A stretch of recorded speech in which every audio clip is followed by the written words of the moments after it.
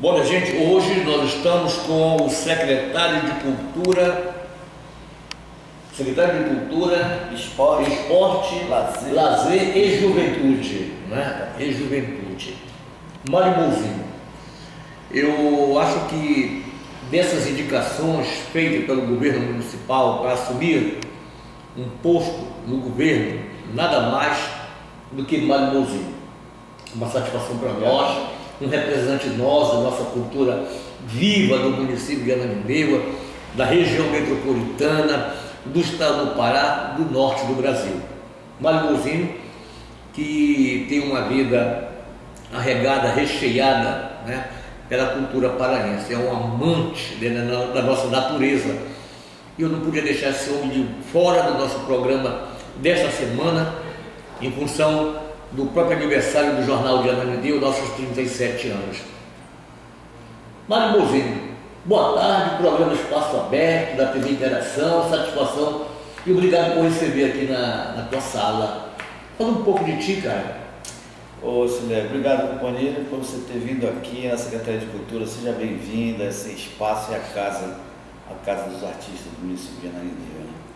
É, eu me chamo Mário Mouzinho, sou músico, compositor, sou formado pela Universidade da Amazônia em desenho, sou formado pela Universidade do Estado do Pará em música. Hoje estou secretário de Cultura do município, mas tenho 35 anos de carreira, já temos aí sete discos gravados, uma relação muito íntima com a música, com a cultura popular, né? E por falar em música, a música é a grande responsável por tudo que acontece na minha vida.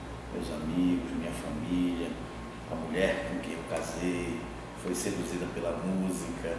Né? Tudo que eu tenho na minha vida hoje foi a música que me deu, inclusive a possibilidade de estar hoje secretário de Cultura aqui do município de Ananindeua. E é isso, a gente faz aquilo que a gente gosta, com, o coração, né? que é o mais importante para mim, é isso. Mário, é, eu digo assim, na, na tua gestão aconteceu aqueles debates né, sobre a, a, os conselhos né, Sim. da cultura, incluiu também a tua administração, os últimos debates, e foram tirados aqueles delegados. Né? Como é que ficou aquilo, Mário? É, são os, nós temos, nós tivemos a nossa conferência de cultura que foi a quarta conferência que foi agora em novembro do ano passado e lá nós foram eleitos, a plenária elegeu os delegados que vão representar o município nas discussões das políticas culturais do estado e também foram eleitos os conselheiros municipais, aquelas pessoas que que vão junto com a secretaria é, criar políticas públicas, culturais, fiscalizar. É, é, uma relação, é um casamento muito importante entre o, o município e a sociedade civil, que são representantes da sociedade civil.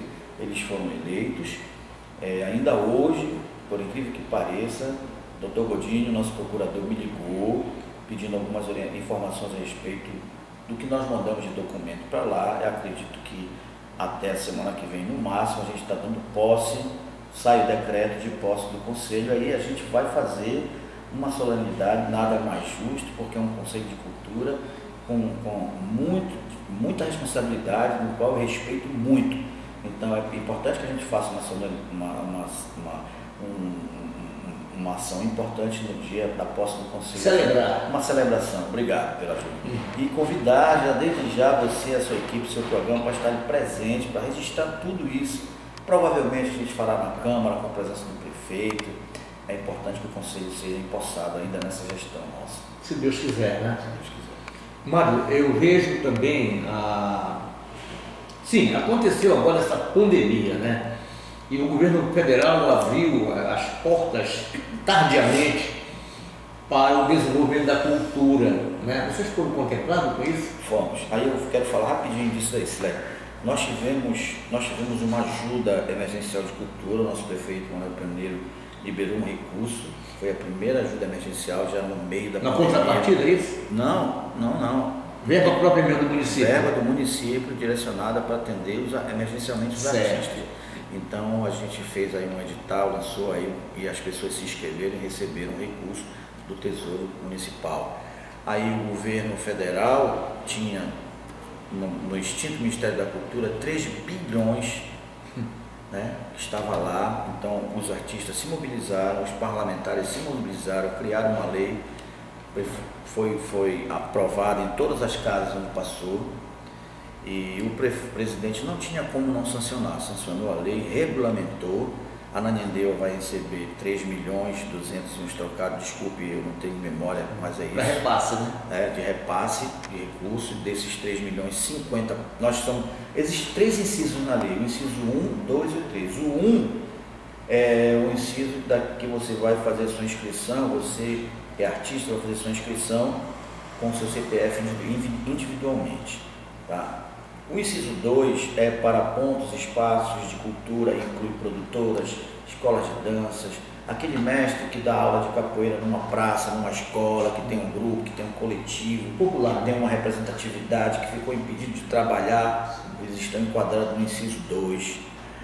E o inciso 3 são os editais de cultura que estão sendo produzidos. Para os editais de cultura, nós chamamos todos os setoriais que ficaram definidos na conferência, música, teatro, cultura popular, são dez segmentos. Então nós chamamos todos os setoriais, independentemente, conversando com todos, pedir, pedimos que eles sugerissem as propostas que queriam ser atendidas nos editais. Assim nós fizemos, então agora nós estamos na parte de, de, de construção dos editais. Eu estou até aqui com um na mão para te mostrar que nós estamos avaliando, procurando Sim. algumas, ajustando, né? Então, em breve, daqui a mais, a, a, é, a, semana que vem, dia 9, provavelmente a gente vai estar lançando esse edital, Sim. teremos um mês para os artistas se inscreverem. Então, é recurso federal, recurso que veio para o município, não vai voltar nem um centavo, porque nós vamos gastar tudo com o artista. Vai ser tudo para o artista, produtor cultural, quem mora nas ilhas. Nós fomos às ilhas fazer uma busca ativa, conversar com toda a população, dizer que eles tinham direito, Sim. cadastramos todo mundo, Fomos no, no quilombo do Abacatal, fizemos a mesma coisa, com os ribeirinhos também. Chamamos todo mundo para conversar. A verba, a lei, é uma lei federal, e a verba veio para atender os artistas. Então é isso que a gente vai fazer. Beleza.